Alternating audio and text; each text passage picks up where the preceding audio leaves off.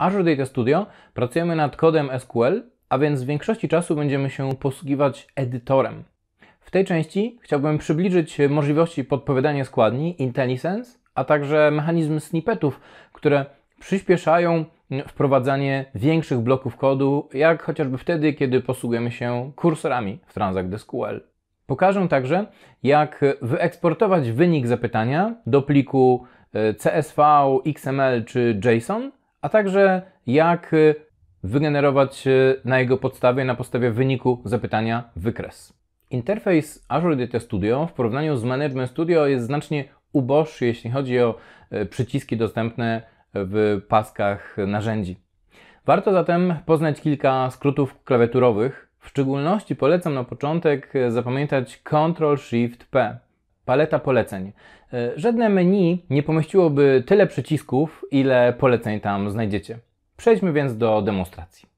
Mechanizm IntelliSense w Azure Data Studio różni przede wszystkim to od Management Studio, że w tym przypadku podpowiada nie tylko nazwy obiektów czy kolumn, ale także słowa kluczowe. Czyli e, wpisując e, select, już po wpisaniu dwóch, trzech pierwszych znaków e, możemy dokończyć tą instrukcję, wybierając odpowiednią podpowiedź. Podobnie będzie z częścią from. Jeśli chodzi o nazwę schematu czy nazwę obiektu, działanie jest podobne jak w znanym nam już wcześniej Management Studio. Chciałbym w tym momencie przypomnieć to, co zawsze podkreślam na szkoleniach dotyczących Transact SQL, już tych podstawowych. Aby efektywnie korzystać mm, z podpowiedzi, pamiętajmy, aby zawsze najpierw wskazać obiekt, do którego się odwołujemy. Nawet jeśli chcemy w, w części select, w tej części, gdzie wskazujemy kolumny, użyć wyrażeń, jakiejś złożonej składni, najpierw określmy, z jakiej tabeli chcemy odczytywać dane, a następnie wróćmy w to miejsce i teraz wpiszmy product ID, name, color czy jakąkolwiek inną kolumnę. Management Studio czy Azure Data Studio, e, dowolne inne narzędzie, nie jest w stanie podpowiedzieć nam, jaką kolumnę chcemy odczytać, jeżeli wcześniej nie określimy, z jakiej tabeli widoku, z jakiego obiektu czytamy. A akurat język SQL jest tak skonstruowany, że najpierw mówimy, co czytamy, a następnie skąd. A więc polecam tą kolejność odwrócić, dzięki czemu efektywnie będziemy z mechanizmu IntelliSense korzystać. Inna sytuacja, która często daje się we znaki, to konieczność odświeżenia mechanizmu cache e, IntelliSense. Na drugiej karcie utworzę, w ramach tej drugiej karty utworzę tabelę. Ona została utworzona w bazie AdventureWorks 2019. I teraz mm, w tym miejscu e, to podkreślenie nie zniknie, e, informując, że ta nazwa obiektu jest błędna, dopóki albo nie zamknę i nie otworzę ponownie mm, tej karty skryptu, albo nie wskażę, aby ten cache, pamięć podręczna została odświeżona. Najprościej zrobić to mm, wyszukując y, odpowiednie polecenie w palecie poleceń, a więc Ctrl-Shift-P y, i teraz wyszukuję czegokolwiek związanego z IntelliSense, szybko znajduję Refresh IntelliSense Cache. Wybieram tą opcję i już po chwili podkreślenie znika. Mm, oczywiście wcześniej również to zapytanie zostało odczytane, bo nazwa obiektu była poprawna, ta tabela została w międzyczasie utworzona, no ale chciałem właśnie zlikwidować to podkreślenie. Jeśli e, zainstalujemy dodatek e, SSMS e, przywracający skróty klawiaturowe dostępne w Management Studio, wtedy Ctrl-Shift-R pozwala odświeżyć pamięć podręczną. Nie musimy szukać więc mm, polecenia w palecie poleceń. Snippety. Snippety to mechanizm dostępny również w Management Studio, ale jakoś nie przyjął się tam zbyt dobrze. Być może mm, inne zorganizowanie go w narzędziu Azure Data Studio e, da mu większą popularność.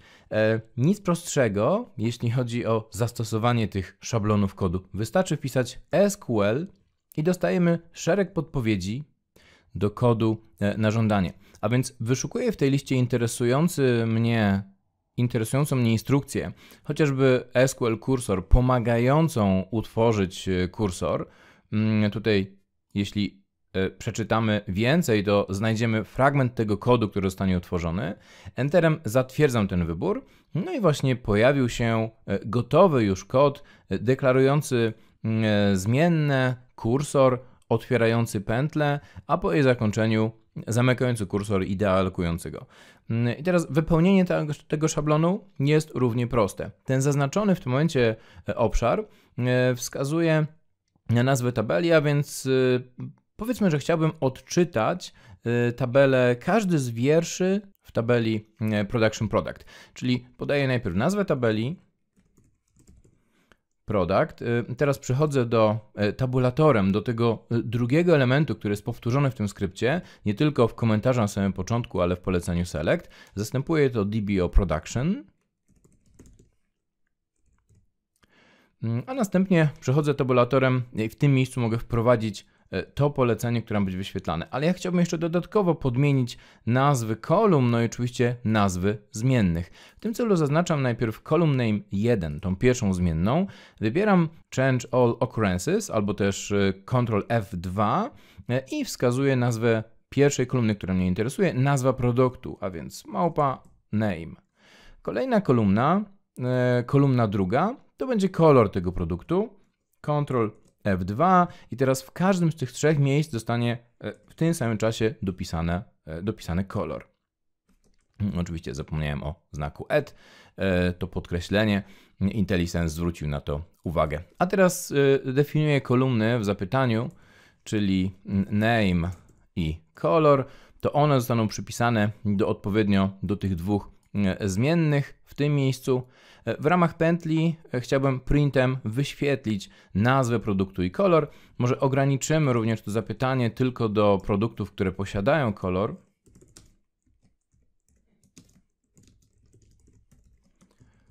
I w tym miejscu print, a dalej zmienna name i zmienna color, oddzielone, oddzielone przecinkiem. I teraz wystarczy zaznaczyć i wykonać ten kod, aby przetestować, czy nasz kursor działa poprawnie. Jak widać, bez większych, bez większych problemów. Pozostałe snippety pomagają w tworzeniu procedur składowanych, tabel, innych obiektów, a także wywoływać gotowy skrypt e, wyświetlający na przykład rozmiar tabeli. E, mamy taką, taki snippet jak get space e, i use by tables. E, wybieram właśnie ten snippet i jak widać zostało wstawione zapytanie, które odczytuje kilka obiektów systemowych i właściwie modyfikujemy tylko tą część, wskazując fragment nazwy tabeli. E, niech to będzie tabela z produktami, a więc product. I wykonujemy tę instrukcję. Teraz widzimy wszystkie produkty, które gdzieś w nazwie zawierają e, słowo product. Obok e, nazwy e, kluczy głównych, liczba wierszy, z ilu stron składają się te tabele i ile z tych stron to strony danych. Podobny wynik, jeśli interesuje nas tego typu wynik dla pojedynczego obiektu, polecam zapamiętać procedurę SP spaced used. Przekazuję nazwę tabeli poprzedzoną nazwą schematu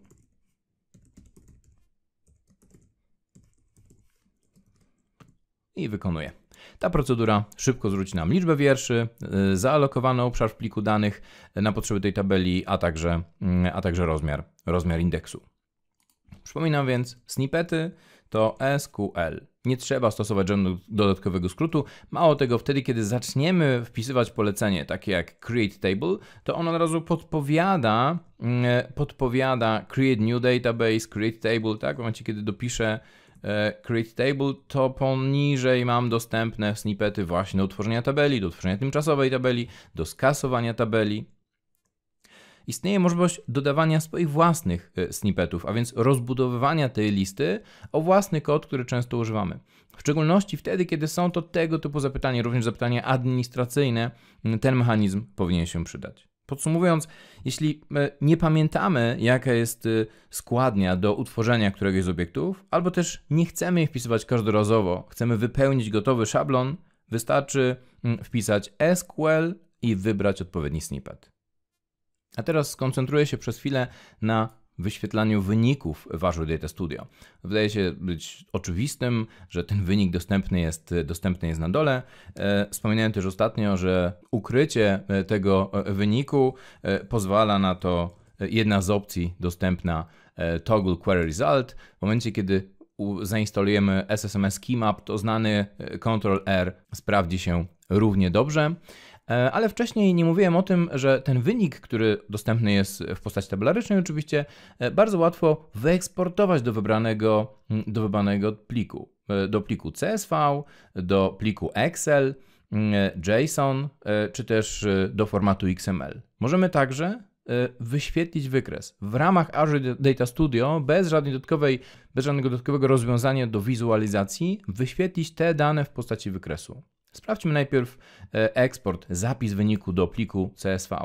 E, muszę jedynie wskazać, gdzie ten plik ma się pojawić. Wybieram Save. Co więcej, Azure Data Studio po jego utworzeniu i zapisaniu automatycznie otworzy te dane. Pokaże mi, jak wyglądają dane właśnie wyeksportowane.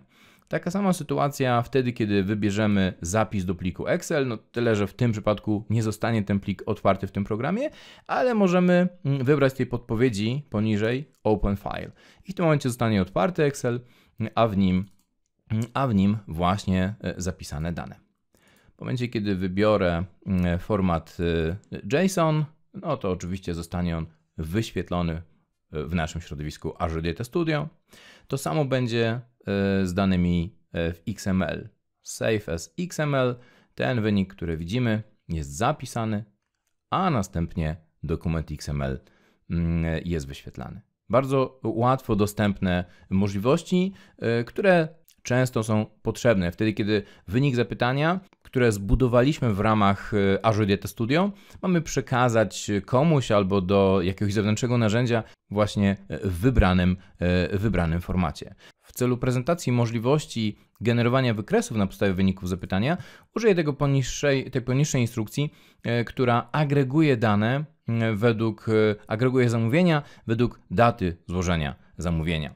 Wybieram po wykonaniu zapytania, wybieram przycisk chart. W tym momencie zostaje, zostaje wygenerowany wykres, może nie do końca spełniający nasze oczekiwania, ale po szybkim dostrojeniu, wskazaniu, że to ma być wykres E, słupkowe, ale te słupki mają być e, pionowe. Dodatkowo e, chcę, aby etykiety zostały użyte jako etykiety wierszy. W tym momencie łatwo odczytamy zamówienia w poszczególnych latach. Możemy też cofnąć się do tego poprzedniego, do tej posta poprzedniej postaci, albo mm, wygenerować wykres tego typu. No i teraz na wykresie kołowym e, widzimy sumę zamówień, e, po najechaniu kursorem myszy liczbę zamówień w poszczególnych latach.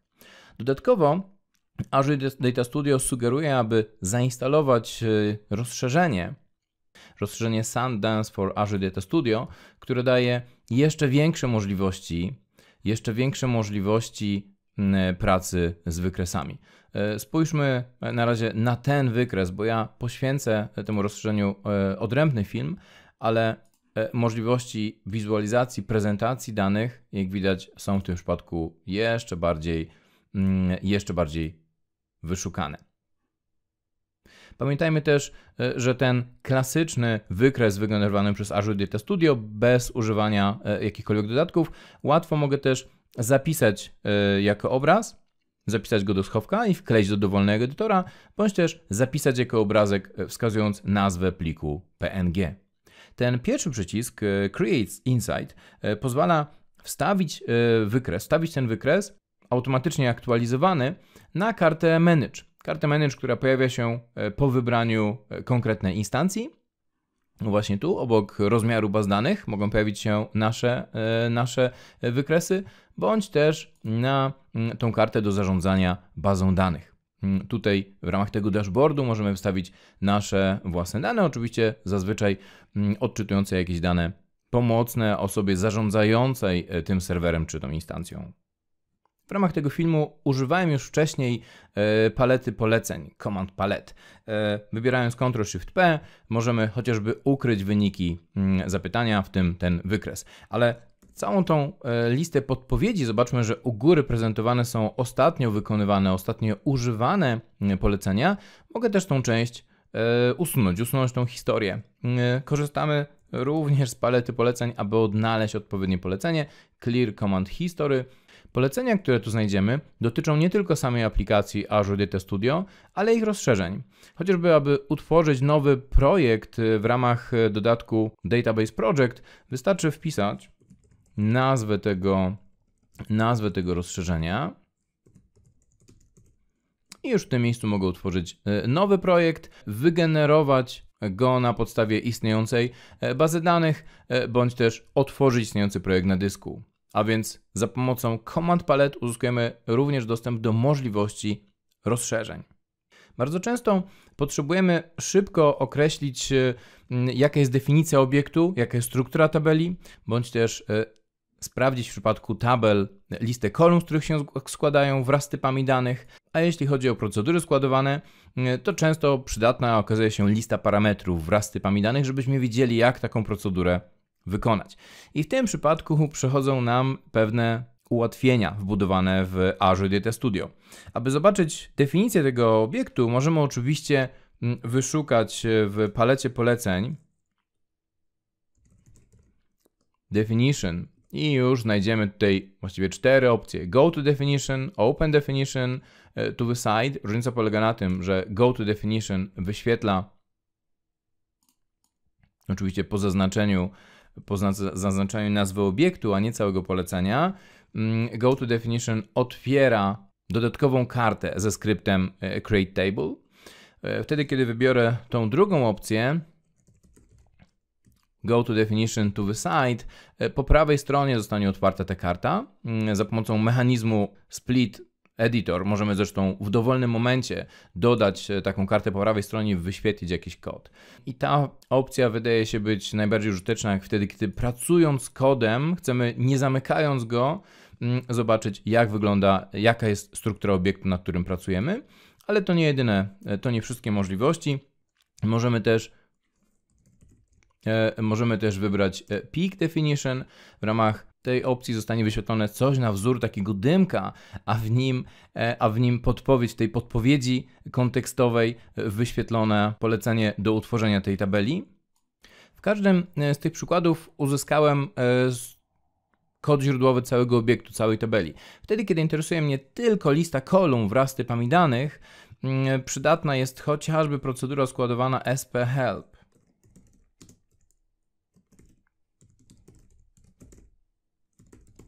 Production sp help, y, przekazana nazwa tabeli, mm, w wyniku otrzymujemy informację o tym obiekcie. To nie tylko o tabeli, jak zaraz pokażę, ale w przypadku tabel to będzie, y, to będzie informacja o tym obiekcie, kiedy został utworzony, lista kolumn y, wraz, wraz z typami danych, poniżej, która kolumna ma właściwość identity, lista indeksów, między innymi constraintów, jakie mają klucze obce, które odwołują się do tej, do tej tabeli.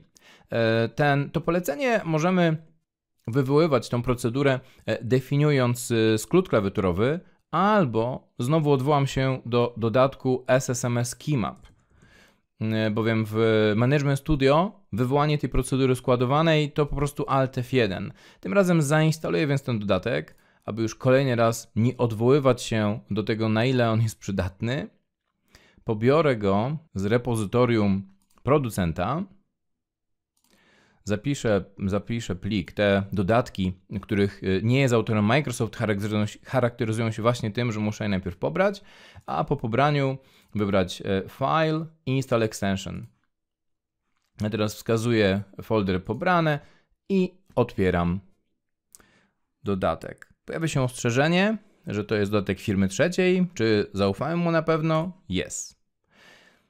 Po zainstalowaniu tego dodatku zobaczmy jak łatwo wywołać e, tą procedurę SP-help. Zaznaczam po prostu nazwę obiektu w dowolnym momencie, tak, w ramach skryptu i wywołuję Alt F1 ten sam, e, ten sam widok, który pokazywałem przed chwilą. A jeśli interesuje nas e, procedura składowana, lewy Alt F1 wyświetli listę parametrów. Oczywiście, oczywiście, jeśli chcemy zobaczyć, jaki jest, jaka jest definicja obiektu, znowu Ctrl-Shift-P, Definition, albo któryś z tych skrótów widocznych tutaj. Peak Definition to Alt F12. Go to Definition po prostu F12. Jeżeli zapominamy te skróty, to akurat to są polecenia, które są dostępne w menu kontekstowym, a więc zaznaczam obiekt, którego definicję chcę zobaczyć i wybieram Go to Definition. To spowoduje otwarcie nowej karty. Jeśli wybiorę opcję peak definition, wówczas mm, zobaczę definicję tej procedury składowanej właśnie w takim e, oknie e, z podpowiedzią. Przypominam, po zainstalowaniu dodatku SSMS Schemat, e, aby ukryć okno z wynikami, wystarczy wybrać Ctrl-R. Ponowne Ctrl-R ponownie te wyniki mm, wyświetli. Ostatnia funkcjonalność dostępna w ramach edytora Azure Data Studio, którą chciałbym dzisiaj zaprezentować, mm, to SQL CMD. Dlatego, że na e, pasku narzędziowym, tutaj obok wyboru bazy danych i wyświetlenia mm, szacowanego planu wykonania, mamy wyraźnie wyeksponowany przycisk Enable SQL CMD. To kolejne możliwości znane już z Management Studio, pozwalające nam między innymi przełączyć się w ramach kodu, bez potrzeby klikania gdziekolwiek, przełączyć się do innej insta instancji niż bieżąca, kazać połączyć się edytorowi z inną instancją. Mm, możemy także zdefiniować zmienne, które będą zastępowały e, fragmenty kodu, e, chociażby korzystając z projektów baz wygenerowany plik różnicowy przez to rozszerzenie, które modyfikuje bazę, właśnie korzysta z tego typu trybu. Mm, czyli ja mogę wywołać o właśnie taki kod, deklarując sobie zmienną e, z nazwą podkategorii i ta nazwa podkategorii będzie, będzie zastępowana. Ten skrypt będzie zastępował właśnie odwołanie do zmiany jest zapisane w ten sposób. Mm, ten kod jest interpretowany jako e, błąd składniowy, chyba że właśnie włączę e, SQL CMD. Zaznaczając, e, naciskając na ten przycisk, zaznaczam i wykonuję ten kod ponownie. No i w tym momencie faktycznie, jak widać, wyświetlane zostały tylko rękawiczki. Jeśli chcemy połączyć się z inną instancją, przypominam, ja w tym momencie operuję na domyślnej instancji, jeśli chcę spowodować, że po wyświetleniu mm, tych produktów to połączenie zostanie przełączone na inną instancję, tutaj poniżej upewniam się, że ten kod wykonywany jest na y, domyślnej instancji, a tutaj connect spowoduje przełączenie na instancję nazwaną SQL ins1. Zaznaczę ten kod i wykonam. No jak widać, Dodatkowo to jeszcze w pierwszej kolumnie tego wyniku jednego drugiego, który prezentuje listę baz danych, dodałem nazwę, nazwę serwera, nazwę instancji. Stąd jak widać mm, to pierwsza tylko nazwa maszyny, systemu, na którym jest zainstalowany SQL Server. Mm, ta druga część to instancja, to instancja nazwana. Bez potrzeby przeklikiwania się, wskazywania innej instancji możemy zaszyć w kodzie takie przełączenie fragmentu kodu do innej instancji. Dziękuję za obejrzenie tej krótkiej demonstracji dotyczącej możliwości edytora w Azure Data Studio. W kolejnej części skoncentruję się na różnicach między e, pracą na plikach, folderach, projektach czy przestrzeniach roboczych. Do zobaczenia.